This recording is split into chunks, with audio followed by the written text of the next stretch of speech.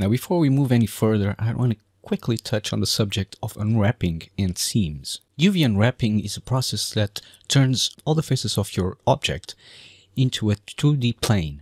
So if I just solo this and I press Morph UV, you can see what's happening. It's just stretching out that 3D object into a 2D plane. And if you see all these different parts, you can see where they're coming from.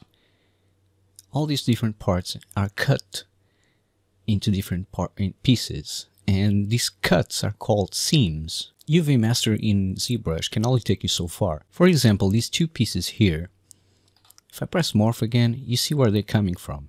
This is because I created a bevel here, so that I didn't have too, uh, too sharp edges at the ends of this stick.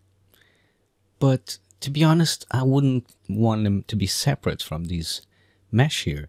I would want them to stay there. Now I can use UV Master Enable Control Painting and I can kind of choose where my seams are going to be with control painting.